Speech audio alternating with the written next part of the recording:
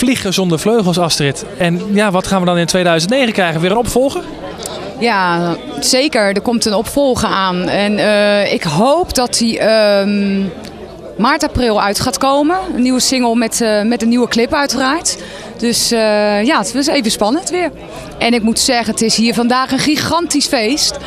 En heel veel publiek, zoveel artiesten. En nou, jullie gaan het gewoon redden. Ik weet het zeker. Jullie gaan gewoon Hilversum oranje kleuren. Ik bedoel, ik sta nu ook hier. Ik heb 2,5 uh, uur gereden hier naartoe en uh, voor dit uh, giga spektakel. En ja, heel belangrijk voor de artiesten en ook natuurlijk voor het publiek. Die, het blijkt maar gewoon dat het Hollandstalige lied zo hoog in het vaandel staat. Als ik dan hier vandaag weer kijk, ja, geweldig. De winst voor 2009? Nou, allereerst natuurlijk dat, dat jullie het gewoon gaan redden. Hè? Voor ons artiesten heel belangrijk, voor het publiek, voor de kijkers. En uh, dat is natuurlijk al een heel mooi begin voor dit nieuwe jaar. En ja, dat mijn nieuwe single het natuurlijk ook weer fantastisch gaat doen.